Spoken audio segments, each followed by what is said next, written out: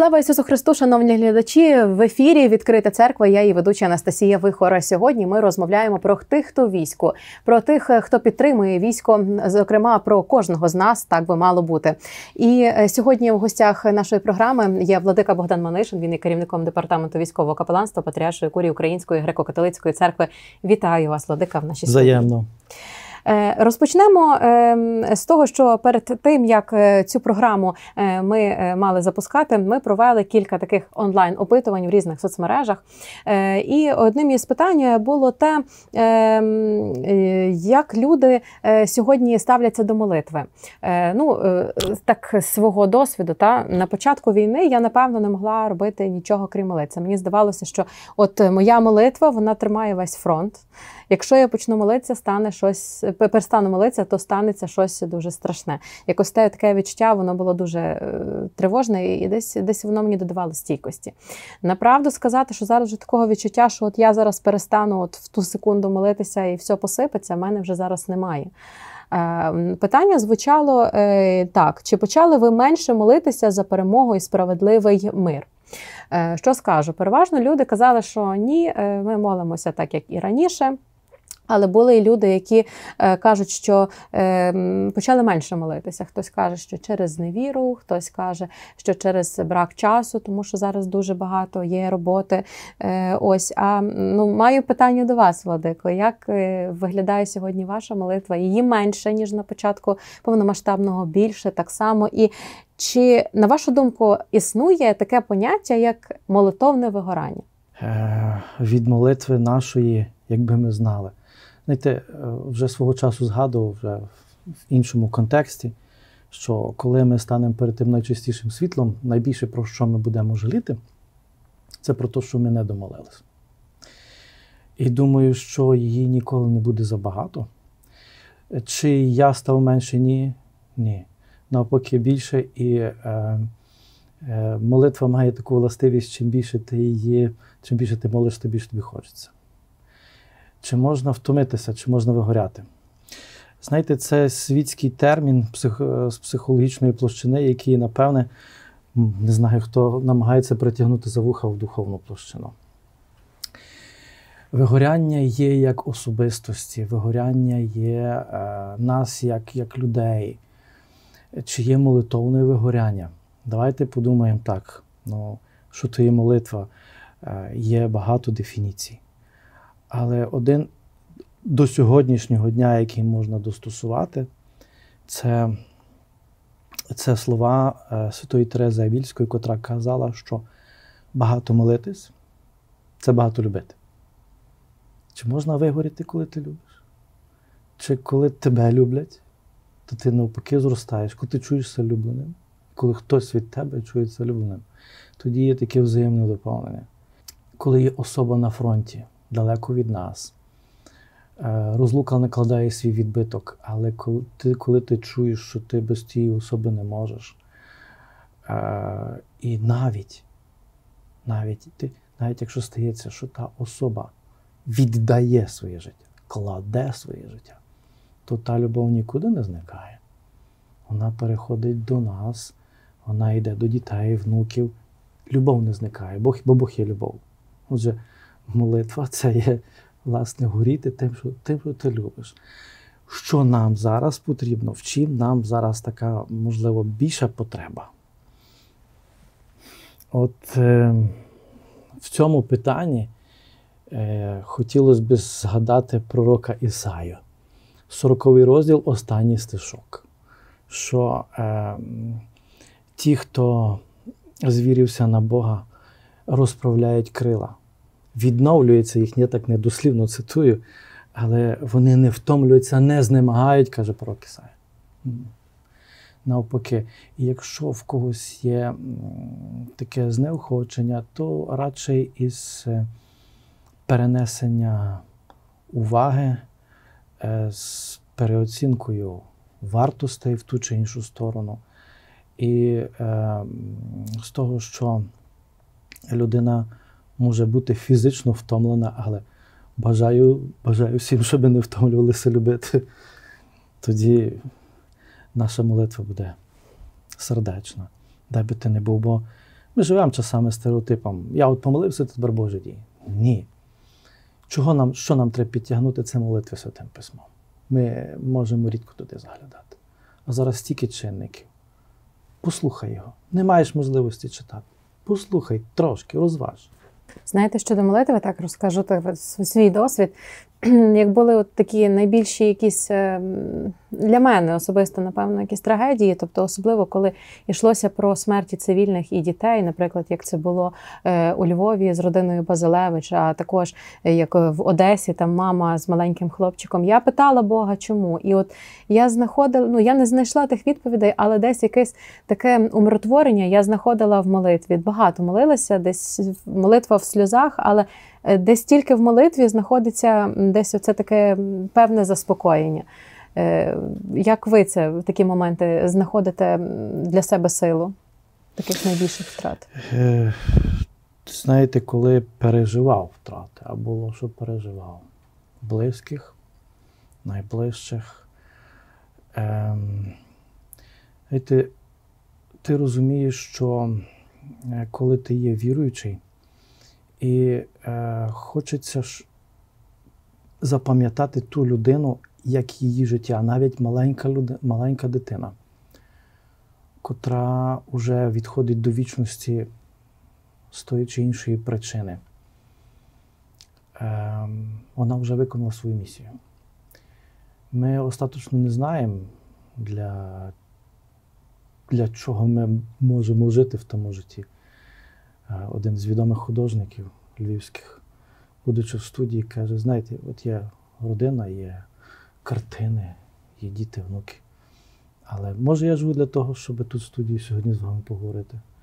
В короткому часі він відійшов до вічності раптово. І ми маємо шукати оту свою місію, для чого я живу. Той, хто є остаточно у ньому, вони не вмирають. Ми маємо змінити своє ставлення до того, що називаємо смерть. Бо правдива смерть це життя без Бога. А коли людина відходить до вічності в той чи інший спосіб, вона у ньому живе.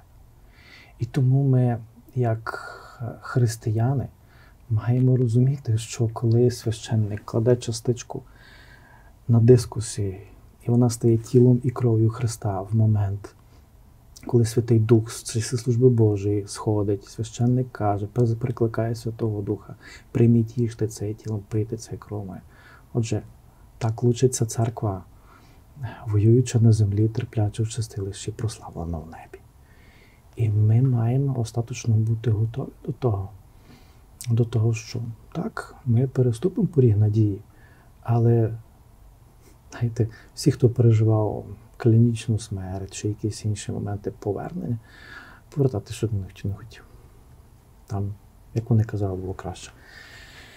Ми мали би ми мали би мали би в сьогоднішній день, в сьогоднішній день, коли є так багато, так багато того, що ми називаємо трагедії, ми маємо радше звернути свій погляд на те, що та посвята, та офіра є недаремна.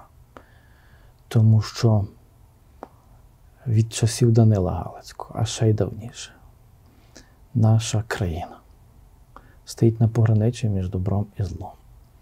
І якщо багато офір, які якось намагаються порахувати покладених життів, то порятовані життя ніхто не рахує.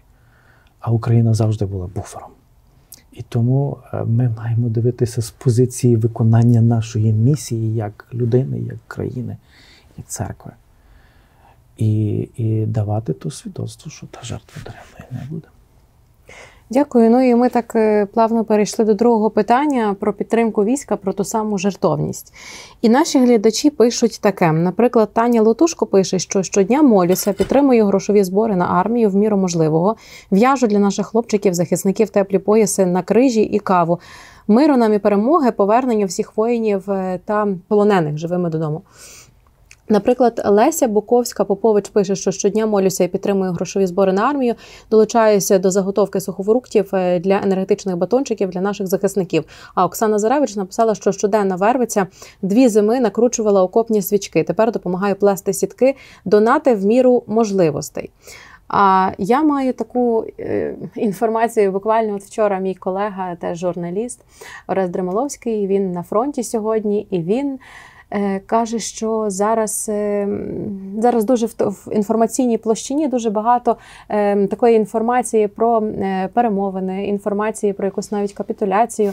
Але на фронті наші захисники вони, вони б'ються каже, що де вони були там тиждень тому, зараз фронт рухається не в нашу користь, так на жаль, особливо на Донеччині бачимо ці зведення. Усі, і він каже, що зараз наші захисники відчувають те, що стали банки, вони не наповнюються.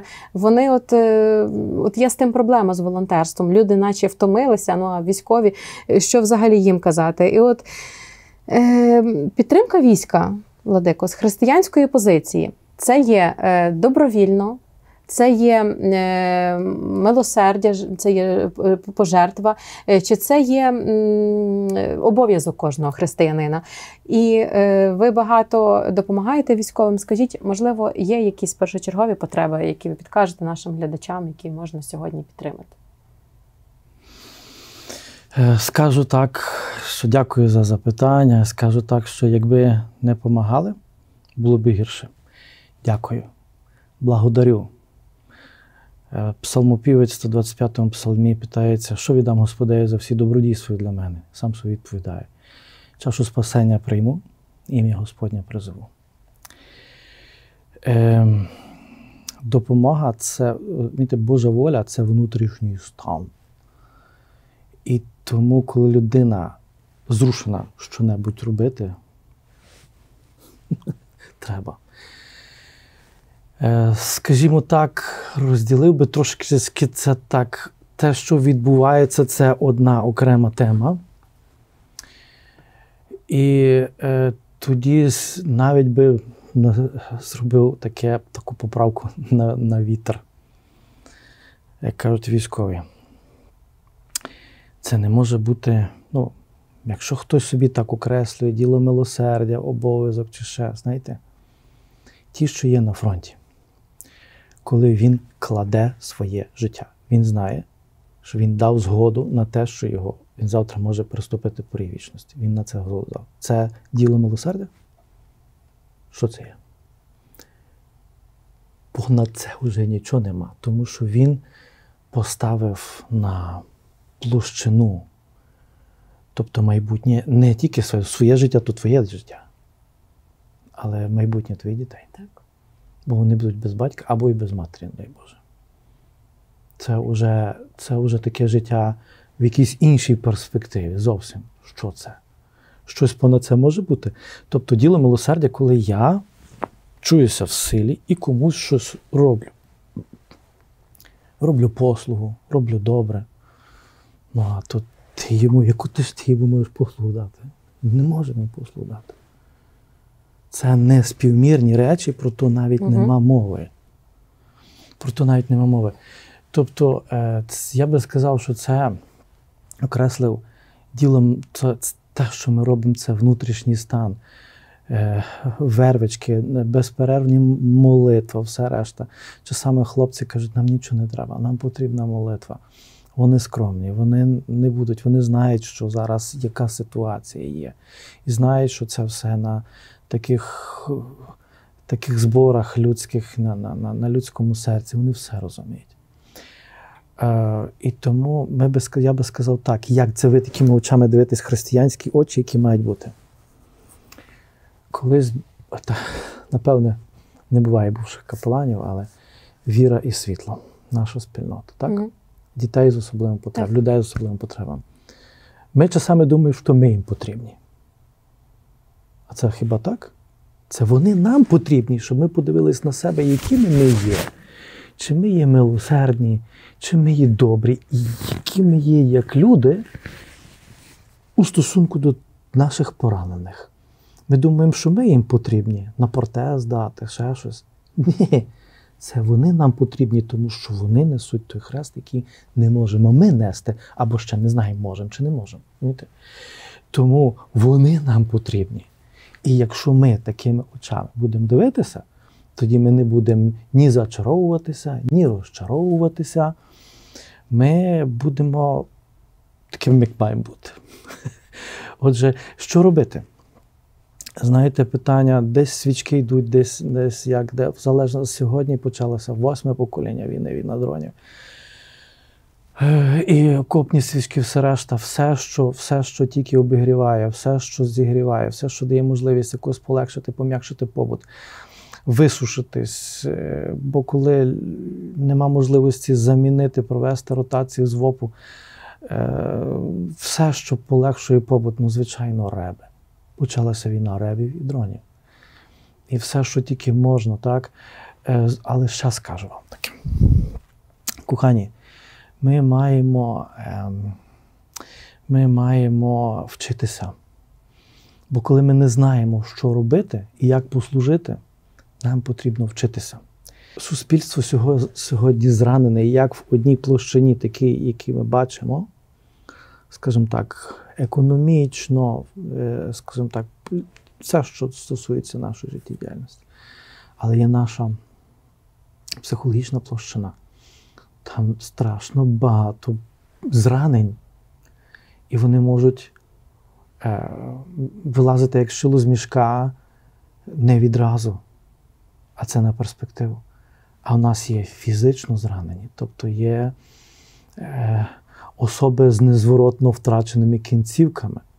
Як бути з тими людьми? Їх не треба жаліти. Вони ще тебе пожаліли. Вони не люблять жалю до себе. Вони хочуть себе чути гідними особами. І вони хочуть, щоб відчути, що їхня жертва є недаремна. От того нам треба навчитись. Як це зробити? Е, потрібно вчитися багато, вчитися доброї, е, е, скажімо так, християнського психологічного підходу, стриманості, виваженості і якщо хочемо допомагати, то маємо допомагати фахово. Фахово. Не так дуже важливо з такою, знаєте, лікарською заповіді на зашкоді. Е, перейдемо до наступного питання. Е, розпитаю вас про корупцію, бо вона, ну я собі так придумала таке визначення: корупція сестра війни. Це ваша дефініція? Е, так, собі, от знаєте, якось може десь хтось раніше і і думав про це. Ну, я якось я собі так от написала. Е, Таке от порівняння мені лягло. Е, Є ще такий теплий скандал з Хмельницьким секом. Е, також вже вилізають такі самі скандали десь в Рівному. Е, загалом, я думаю, що ще багато буде. Оце зараз якраз така хвиля почалася дуже багато всього повилазить. Нагадаю, що ем, СЕК це є медично-соціальна експертна комісія. Це те місце, де встановлюють інвалідність.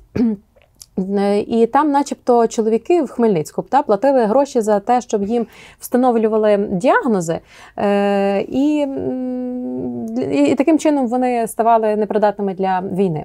Е, отож, будемо говорити про корупцію. Корупцію, зокрема, щоб не йти до війська. Ем, я не буду десь оцінювати е, того, чи це морально, чи це духовно. Попрошу е, оцінити це вас. Хто грішить? Той, хто бере гроші, е, чи той, хто ухиляється від обов'язку захисту своєї батьківщини? Обидвоє. Обидвоє, тому що обов'язок захисту батьківщини закладено в закон Божий, яким ми, за яким ми живемо, рухаємося, створені шануй батька і матір в тому законі, е, в тому, в тій, щоб тобі добре було, то довго на світі прожив. Е, там закладено любов до батьківщини. Воно вписано в наших скаржалях нашого серця. Отже, е, наше сумління це це, це, це санктуаріум Бога в нас самих. І от коли коли йде щось в розріз, тоді, бачите, коли щось стається, завжди собі намагаюся задавати питання: а чому так стається? Це то, що зробила людина вже наслідок. А чому так стається? Яка причина? Е, Давайте подивимося з того боку, а де корупції нема. І знову ж таки повернемося чому. Бачите, е, є там, де є брак якісної фахової освіти. Полковник Петро Черник пригадав нам всім дуже цікаву дефініцію Першої світової, що ворог приходить туди, де програє священник і вчитель, а війни виграють священники і вчителі.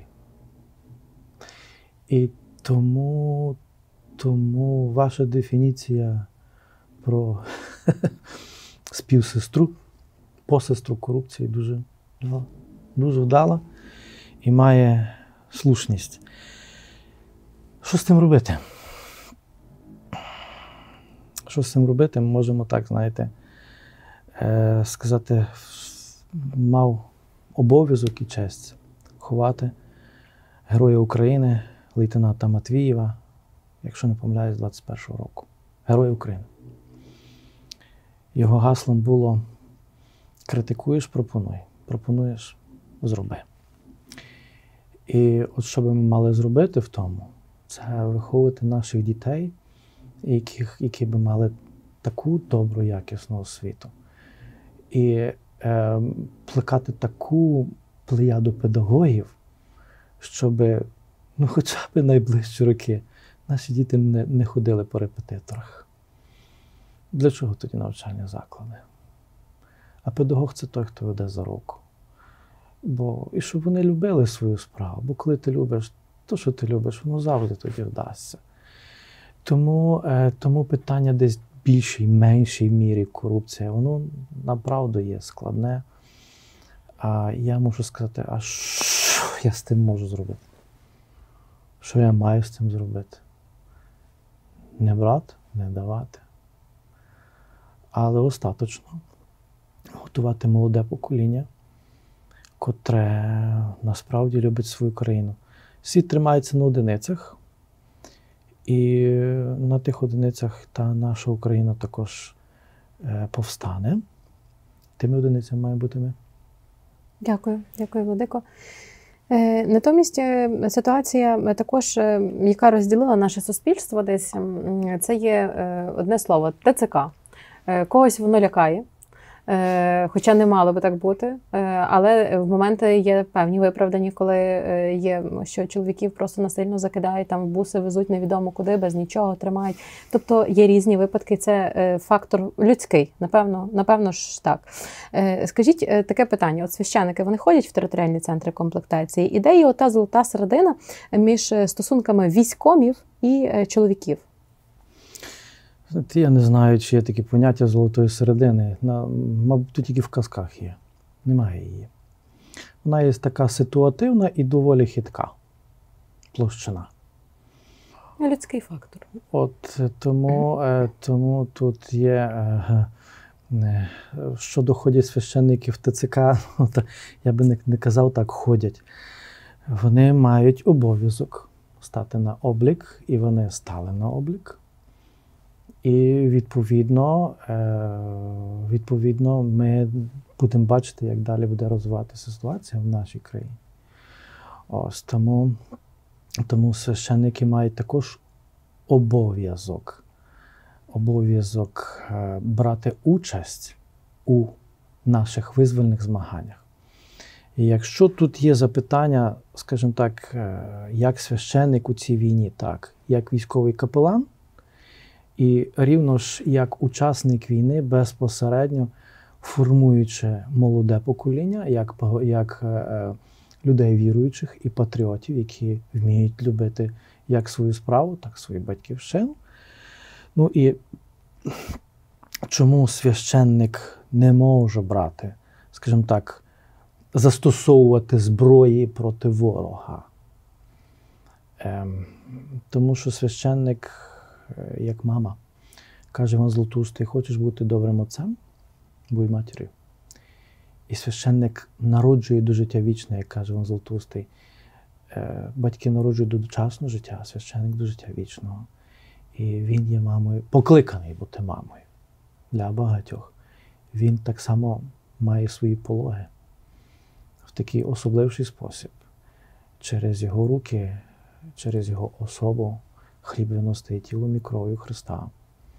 Так, у цьому його не може замінити ніхто. Е, тому, Але він також є громадянином як земного царства, так і царства небесного. І до Небесного царства він має готувати. Тому е, тому е, ставання на облік священників є питання. Я також стою на обліку як сержант запасу радіотехнічних військ. Стосовно е, стосовно е, тієї ситуації, яка відбувається, знаєте, я би не поспішав винуватити всьому ТЦК. Вони не є громовідводом. Це є наслідок. Наслідок того, що потрібно зробити краще. Суспільство є співвідповідальне за все, що робиться.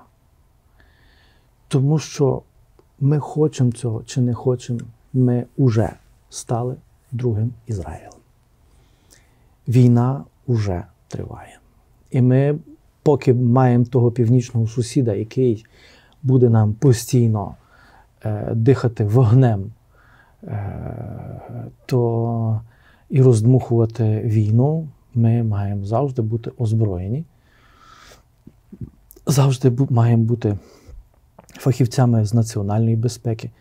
І е, всі наші сфери життєдіяльності, нашого служіння мають бути е, сферою національної безпеки. Ми маємо це робити фахово, вміло. І е, цього потрібно навчитися. Ми нічого уже не зробимо з нашим минулим, коли за роки незалежності розвалили інститут керівників військ... початкової військової підготовки в школах, коли не прививалася любов до війська, коли армії, армія фактично розвалювалася. Ми не вернемо, його вже нема, цього вже нема. Але є то, що є сьогодні, і мислення на перспективу. Ось тому е, скажу вам інший приклад. Е, Ще минулого року, коли ми за за 25 20, 25 грудня почали святкувати скажімо так, Різдво всім католицьким світом, довелося це Різдво переживати в одному із підрозділів на одному із напрямків. І коли приїжджаючи на на ротний опорний пункт, е, мав прохання від вищого командира, щоб якось заохотити хлопців, бо їм тяжко, вони трошки мають такі настрої, не конче добрі, щоб їх підтримати так, знаєте, патріотично і духовно. Я так від серця поділився, розказав. Командир роти каже до мене: знаєте, ви тут все дуже так гарно говорите, дуже складно. Там ми вдячні.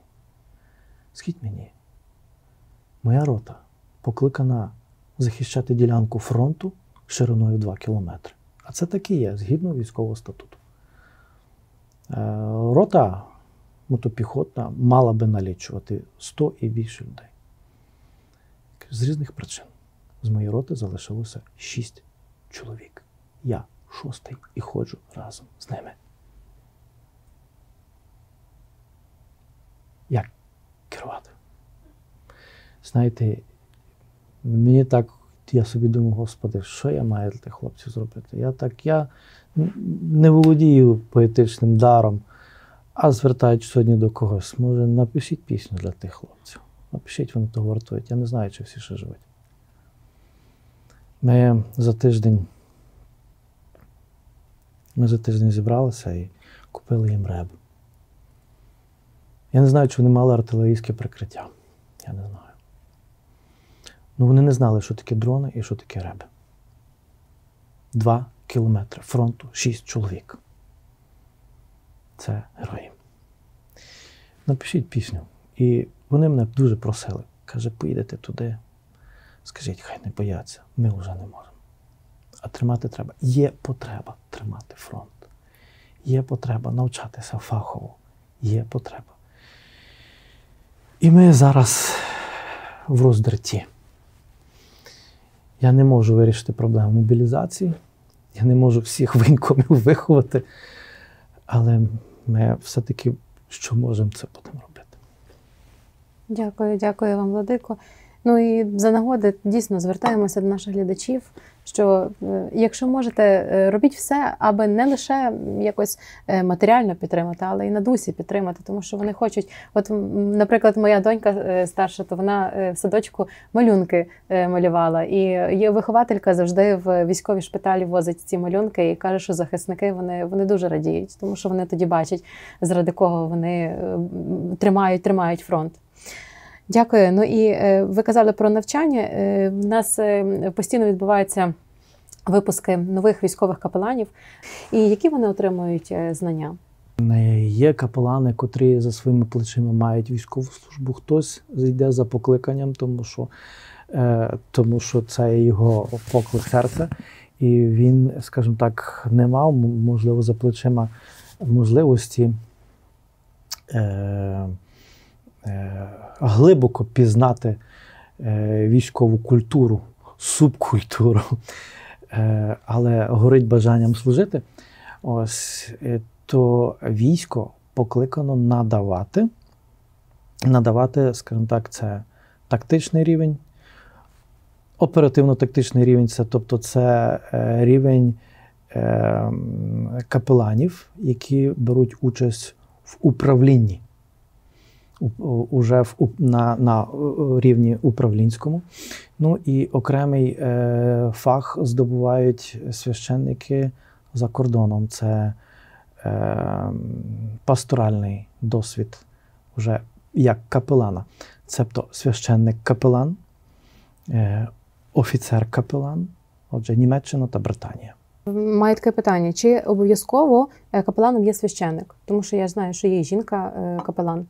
Дуже люблю ту дефініцію, котру нам блаженніший Святослав, що будучи віце-ректором, викладачем нашої семінарії, сказав так, простіше кажучи, на хлопський розум, що таке природа. Природа це те, що дано при родах. Камінь має свою природу, тварина свою людина свою.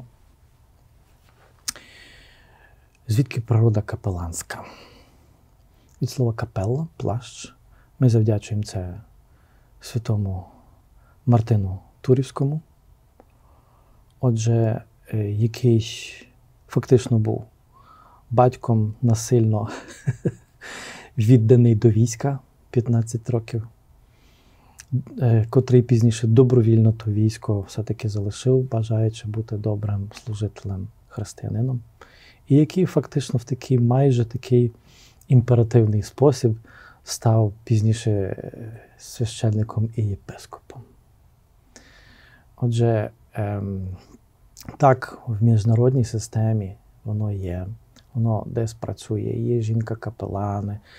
Так, е, е, скажімо, така є модель протестантська, але в нашій, скажімо, культурі такій традиційній, українській. Ем, ми можемо жінці навіть поплакатися. Ми можемо бути під формацією жінки. Ісус був під формацією Марії. Жінка багато вміє навчити. Дуже це і це потрібно. Однак уділити розрішення. Mm. Ем, святі тайни уділити.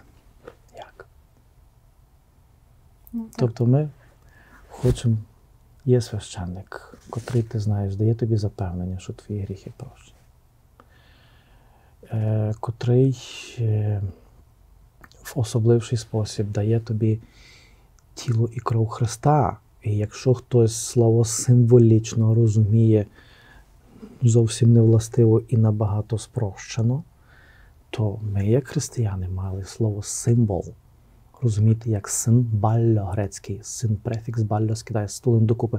Божа і людська дійсність в одному. Бог бере твою історію в людські руки. І він установився тут тайну священства. Вона для того є. Тому, ем, якщо є така практика на законодавчому рівні. Вона є.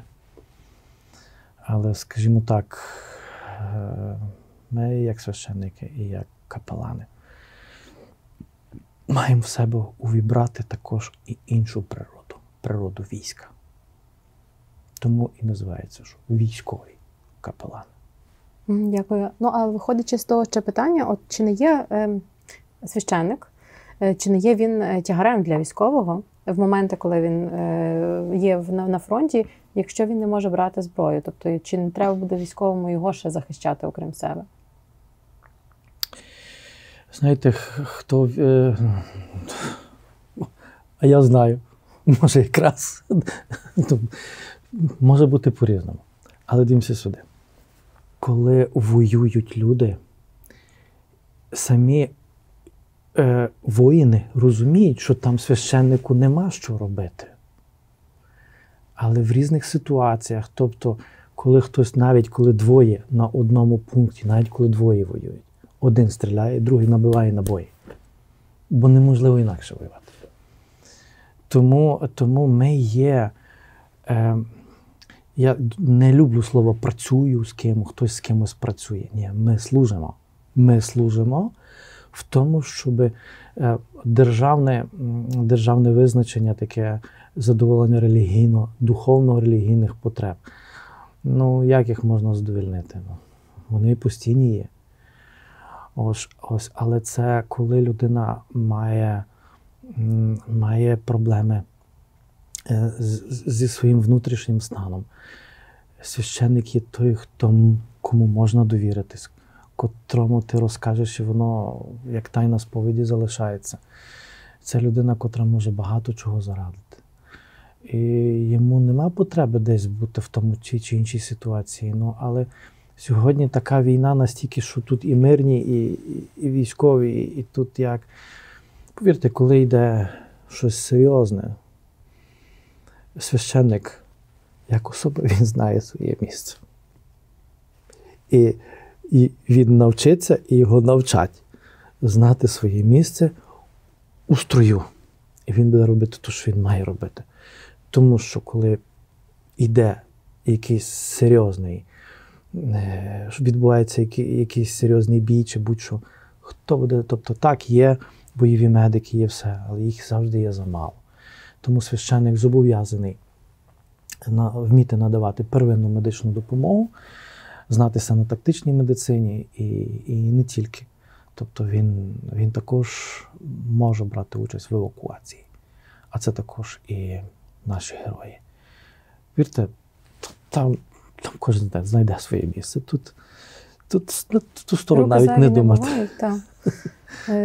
так. Ну і е, дивіться, має такий коментар, який мене дуже розчули від Андрія Чорнобая. Це про те, що е, руки зайві не бувають. В цивільному житті я був дяком. Зараз захищаю Україну, молюсь, підтримую чим і як можу. Не дивно, що тут всі хочуть поради підтримки. Хоча я не капелан, але тут я готовий вислухати, щоб кожен був почутий. Дякую кожному за найбільшу підтримку і за молитву. Ми бачимо величезну потребу в психологічній і духовній розраді підтримці. Ну і на завершення е, хочу вам, шановні глядачі, нагадати, що 12 жовтня є день військового капелана. І е, ви, шановні глядачі, можете залишати свої десь привітання, зокрема в коментарях під цим відео, або писати е, капеланам вашим знайомим такі слова підтримки, тому що їм це теж важливо. Е, ну а вас, Владико, хочу попросити е, теж кілька слів сказати для наших капеланів, е, тих, хто підтримує наших захисників на дусі, і тих, хто завжди поруч. Любі священстві співбраття, хочеться побажати вам великої, великої капели, яка огортає ваші рамена, зігріває ваше серце, але є той плащ частиною вашого життя. Той плащ, який свого часу розділив святий Мартин Турівський і віддав його Христові. І той Господь, котрий е, обіцяв, що знайдете набагато більше е, братів, сестер, нехай воздасть вам сторицею, щоби в нашому серці завжди промінювало слова Ісуса. що кожна жертва сіллю посолиться. І щоб, будучи підключеним до великого джерела любові, могли завжди зігрівати серця тих, яких опалює війна, але ніколи не може сягнути глибин, е, що нищать образ Божий. Нехай Бог кожного благословить через ваше служіння. Е, і е, нехай ті, які вас знають, які намагаються стати, стати вашими руками, руками, котрі потримують ваші руки на молитві. Нехай їх буде багато. Нехай буде дружба, котра зціляє і остаточно перемоги. Слава Ісусу Христу! Слава Україні! Слава навіки Богу, слава навіки Богу, Владико, дякую вам за таку розмову. Шановні глядачі, нагадаю, сьогодні ми розмовляли про тих, хто в війську, і про тих, хто працює також заради війська, заради нашої спільної перемоги. Е, була така розмова і про капеланів, е, і про захисників, і про територіальні центри комплектації, і про МСЕК. Про все ми сьогодні говорили. Е, тому не забувайте коментувати наші відео, не забувайте ставити вподобайки, а і поширювати їх, аби їх побачили набагато більше людей. Навіть так.